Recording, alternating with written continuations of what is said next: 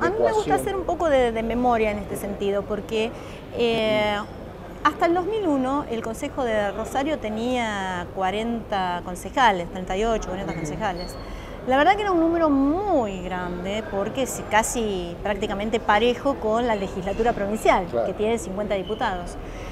Era necesario hacer este, una modificación en el número, pero la ley indicaba un crecimiento de los escaños a nivel paralelo de eh, lo demográfico, la cantidad poblacional. Ahora, ¿por qué se modifica y por qué se achican dos consejos en toda la ciudad, en toda la, eh, provincia, el de Santa Fe y el de Rosario?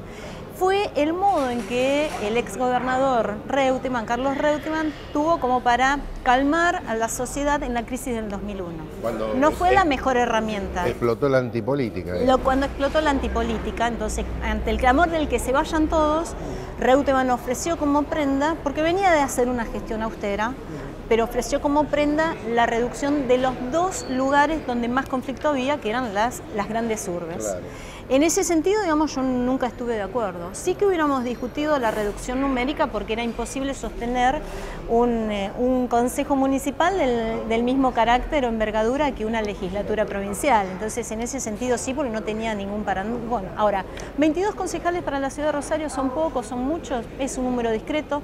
En, este, en la incorporación de, este, de estos nuevos no hay modificación de partidas presupuestarias. Nosotros tenemos eh, líneas de transparencia y accesibles, digamos, nosotros podemos... El Consejo Municipal de Rosario, vos te metés en la página web, cualquier vecino, y tiene acceso a cada una de, las cuestiones que hacen a la composición, al número, al seguimiento de sus concejales, o sea, somos transparentes, más que eh, los órganos que tiene la misma municipalidad.